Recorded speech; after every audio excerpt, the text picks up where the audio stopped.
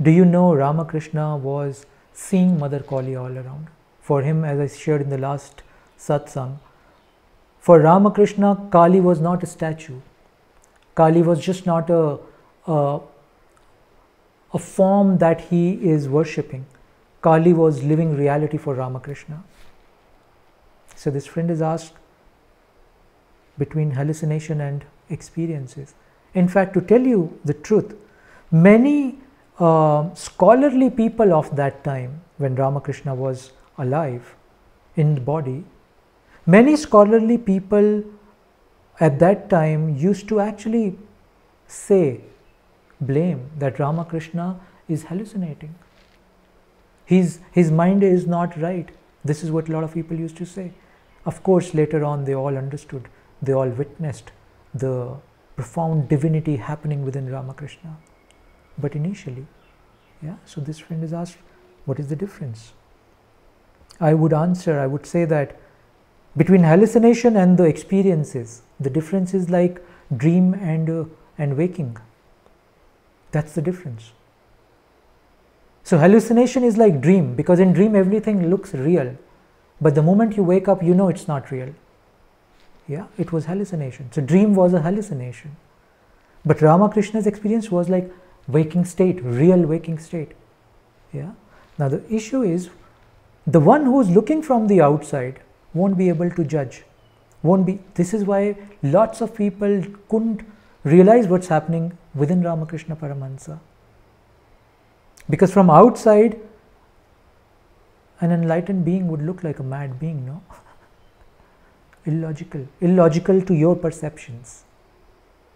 Yeah, I think the right question should be here how do you differentiate when you are experiencing something that are you hallucinating or are you experiencing? I think that should be the question. And, and the answer of that would be A. The experience is always the experiencer always know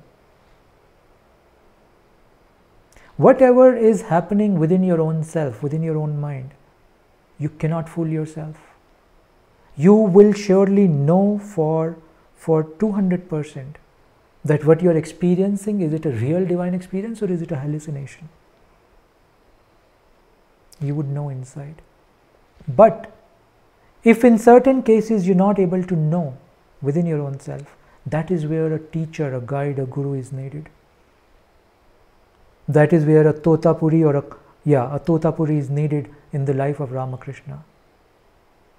Yeah, because sometimes we enter into such such domains of inner experiences that the boundary between hallucination and reality is very thin. Even the most uh, advanced or uh, uh, broad minds, meditative minds, can get confused can get into a certain trap. That is when the intervention or a, a sanidhya, as we say in Hindi, of teacher or a guru is needed. Yeah? Presence. The presence, as we say. That is when a presence is needed in the journey. Yeah. But if you if your question was only for Ramakrishna, not for your own self, then in my experience I would say that if you are with the Ramakrishna and if you're honestly with the Ramakrishna, if you are Mahendranath Gupta of Ramakrishna's disciple, if you are Naren or a Vivekananda of Ramakrishna, you would know. You would know what's happening within the heart or within the being of Ramakrishna. Proximity, no? Uh, a deeper connection. In that deeper connection, you know what's happening in the other. But yeah, looking on the street, walking on the street, you might not be able to judge if somebody is hallucinating or somebody is having a divine experience. You might not be able to judge unless you're established at a very deep base within your own self. Unless your own perception are wide enough to be able to grasp. Unless you are there, you will not be able to judge.